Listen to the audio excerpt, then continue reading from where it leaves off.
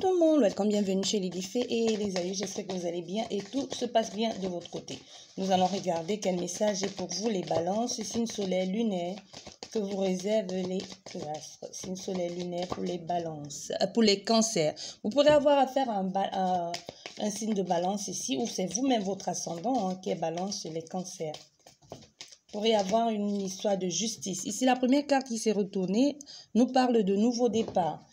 Nouveau départ, changement de vie, un changement de point de vue aussi.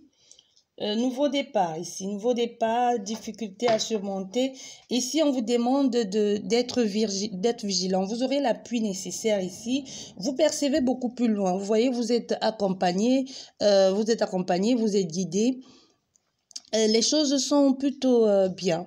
Il y a aussi une connotation spirituelle ici avec tout ceci, tout ce qui est en train de se passer, comme si vous allez revoir certaines de vos croyances, les cancers.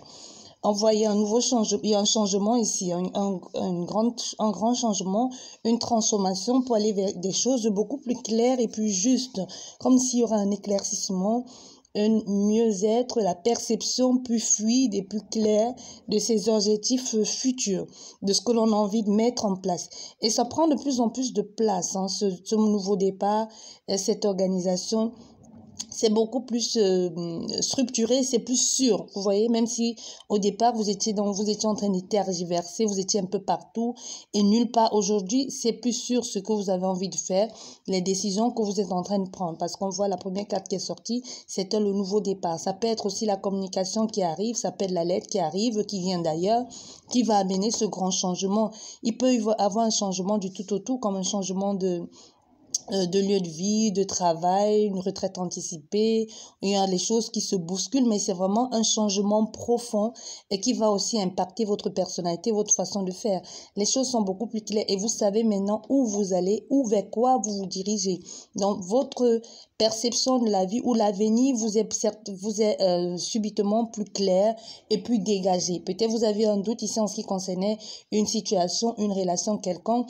Maintenant que vous avez reçu cette lettre et que cette, vous avez eu la réponse à cette communication ou que cette communication a été établie, vous pouvez enfin vous visualiser, projeter et avoir une vision beaucoup plus claire et même plus stable de ce que vous avez envie de faire et de mettre en place. Même si pour chaque nouveau départ hein, nécessite un moment de réflexion de stress, de questionnement. Et ce stress, c'est plutôt un bon stress. C'est le changement, le, temps de s'adapter, le temps d'adaptabilité ici. Toute situation nécessite un temps d'adaptation. Donc les choses vont être positives ici. Il y a une belle chose, des belles choses qui arrivent pour vous. Une stabilité retrouvée, l'ancrage, la force, le soutien et la détermination.